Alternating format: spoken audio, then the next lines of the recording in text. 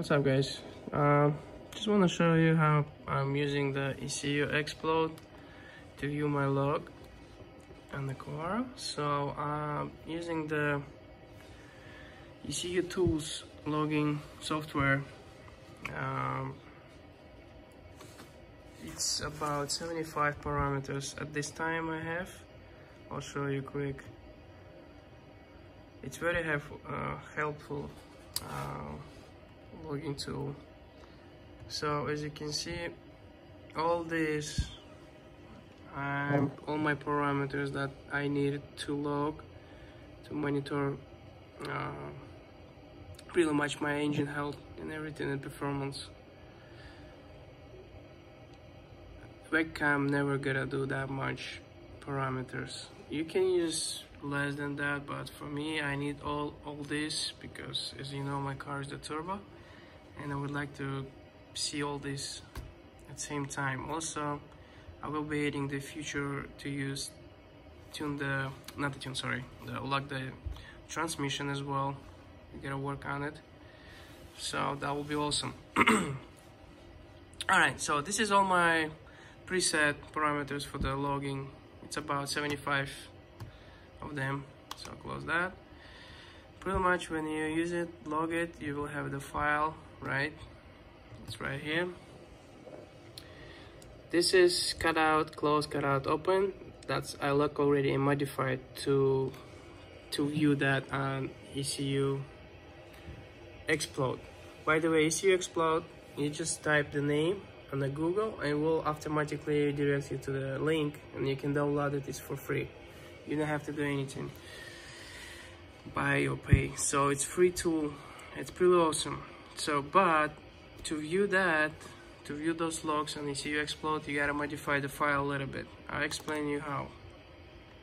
So this is your typical uh, screen of the log. So what you have to, to do you have to delete everything from the top all the way to those names up to those names. So it means you have to select it in the corner here then you go to all the way to the right side.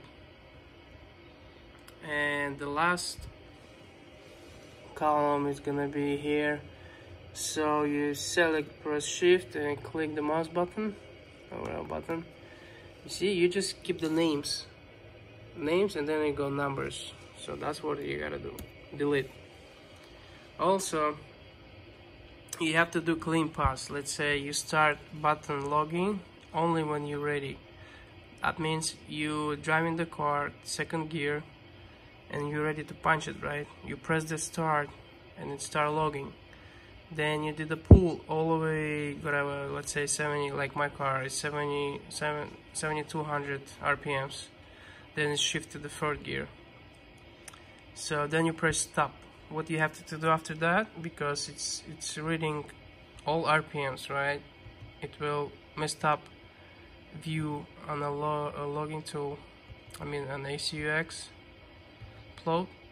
So what you have to do you have to delete after 72 after 7200 RPMs you have to delete everything below. So you keep from whatever 2000 RPMs up to 72 only. Uh, I did already file I'll just show you. Here is my file right? As you can see I stopped. One second let's go up up. Here we go. I'll show you there where's my RPMs and it's all the way all the way to here. So yeah this is my RPM so I stop at 73,000 whatever is below we have to delete. Then you can watch uh, view the log clearly. So let's go and see the log go ECUxPlot uh, file open file you direct to your folder whatever the file you keep let's say this one right Fetch time, fetch time, I don't know why it's not showing, sometimes it shows, sometimes it's not. It's very good tool to measure your uh, performance of the car. Every new revision of the ECU tune, you, you will see the difference of the acceleration, which it's really cool stuff. Sometimes works sometimes not I guess. You gotta set this correctly. All right so let's go here. Let's say calculated engine load right? X SS you always choose RPMs always RPMs that's your X over here. Y and Y2 you can choose whatever parameters you like to use. Let's say ambient air temperature right? It's about uh, 9 Celsius. That's fine. Engine calculate engine load. So that's what I it from 1500 RPMs and goes all the way to 7 72,000 RPM 700 7200 sorry. So this one is done. Let's say I want to see I want to keep this in the x uh, y axis and y2 axis let's say I want to see fuel parameters right? Let's see let's say um, lambda set point. So here is the lambda set point. That's how it's requesting from the for the ECU to keep the my fuel.